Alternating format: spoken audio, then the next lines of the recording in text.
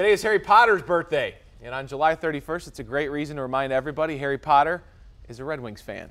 Yeah, go Wings. Yeah. Let's go Red Wings. That's Daniel Radcliffe, of course. He's the Red Wings fan. His girlfriend, actress Erin Darke, is from Michigan, frequently brings him to town. A couple seasons ago, you can see Radcliffe met with a bunch of the Red Wings. We all love the Red Wings. Glad he is a Red Wings fan too. We have a quick weather update for you next.